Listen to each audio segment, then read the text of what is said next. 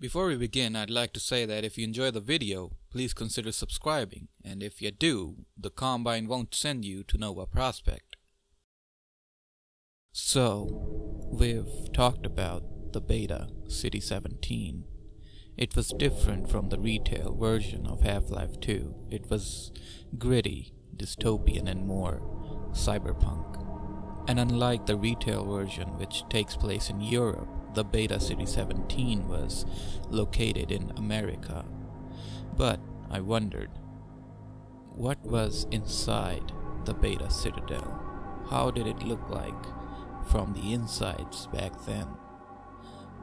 We saw it, well, a bit of it in some of the maps we looked at earlier. We saw the Titan in the distance, keeping an eye on the citizens of the city, ever watching.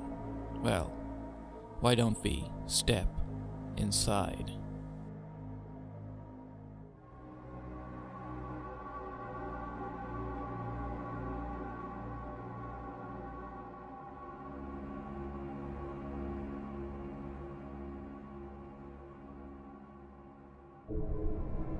There are a few handful of maps in the 2001 beta.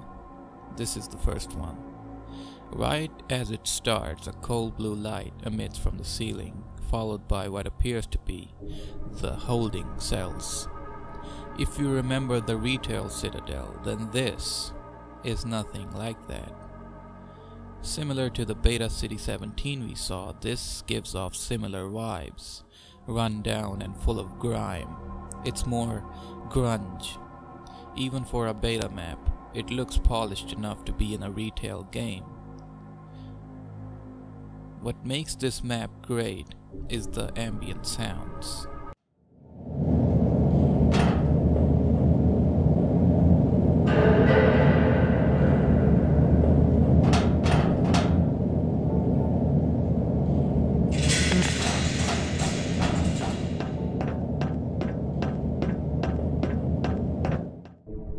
Of course, the finished version would have had enemies here along with some music in the background, but right now, it is the scariest place to be.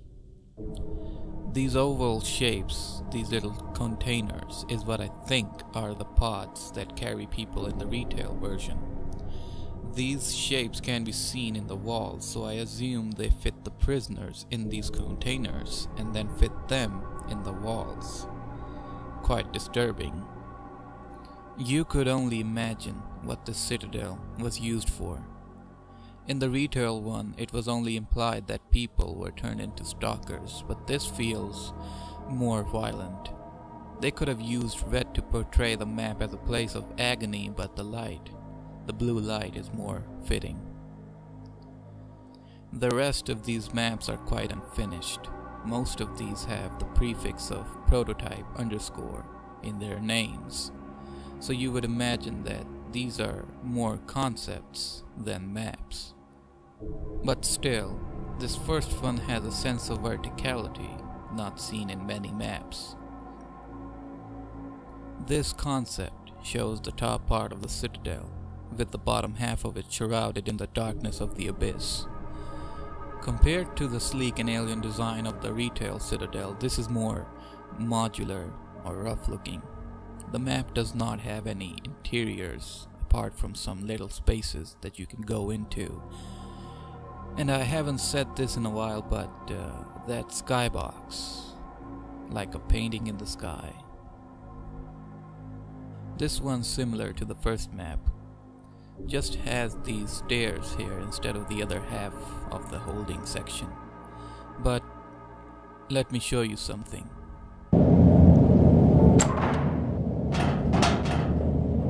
Did you hear that? A door opened. Wonder why I'm mentioning that? I no-clipped to every corner of this map and uh, I did not find a single door. This map has no doors. Then my question is, who or what opened that door and where is it? This map is the consul's office. The thing is, this was so early in the development process that the story wasn't even developed up to this point. No one knows what happens here, but it is known that Gordon fights his way through the Citadel to reach this office. After meeting the consul, it is unknown what happens.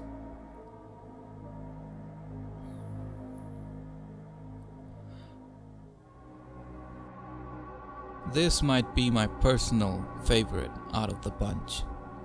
The map shows the interior of the citadel. Instead of the darkness of the retail citadel, here it's a piercing, bright cold light that's illuminating the map. Not reaching all the crevices, it casts shadows that give personality to the overall atmosphere. I'd like to make a reference which may sound crazy, but this map reminds me of the Ayleid Elven ruins in the fourth Elder Scroll game, Oblivion.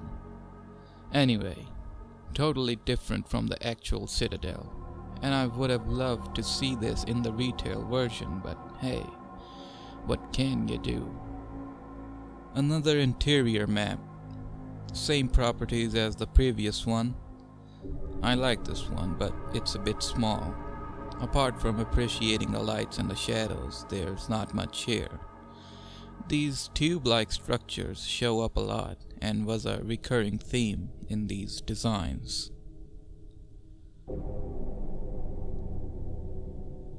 The third interior map resembles the first interior map with the same properties and all that. And sorry for the stuttering, OBS was freaking out for some reason. An interior map with machinery of sorts. I assume these would have been moving in the final version. Good map, not much to say here either. I would share some backstory from the original beta storyline, but like I mentioned, these maps were made so early in the development process that they had not finalized this part of the story. At this point, I started to wonder something. Do we all appreciate the beta maps or just maps in general? What I mean is, there's intrigue at looking at old maps, especially maps of these Half Life games. It may be nostalgia or it may be the fact that when we see empty maps with not a single soul in sight, we feel some sort of emotion evoked in our receptors in our brain. Emotions that bring up feelings in our minds that we rarely feel. There is a connection, I know there is, but some may be genuinely looking for beta maps and see what the maps looked like and how the game changed, but some may be looking for maps that evoke emotions, emotions that only they can identify with. And well, I've gone a bit off topic. This map is a skybox map. It's basically used along with the skybox to create a sense of vastness in a level. It's a bit tricky to explain, but let me know if you want me to make a video on this topic. It really is interesting.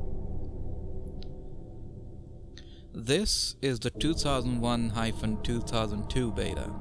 It has the same holding cells map, but with one difference. There's this section here which kind of resembles a map we looked in the 2001 beta. Here's the second and the last map in this version. It is massive in size. I honestly do not know what this place was used for or what would have happened here in the final version, but my guess is that this could have been a boss battle arena. Maybe Breen or excuse me, maybe the consul in a combined mech suit or a combined super gunner ship, I don't know.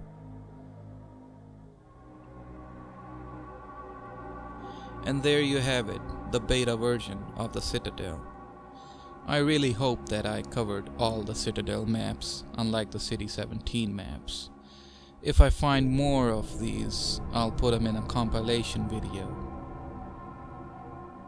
So, the maps we looked at were fascinating, completely different and unique in their own rights. I said I liked the retail City 17, but for the Citadel, I would have preferred this version in the retail version.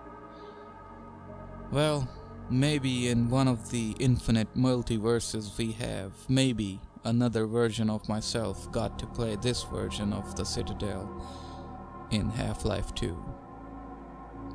Thank you for watching.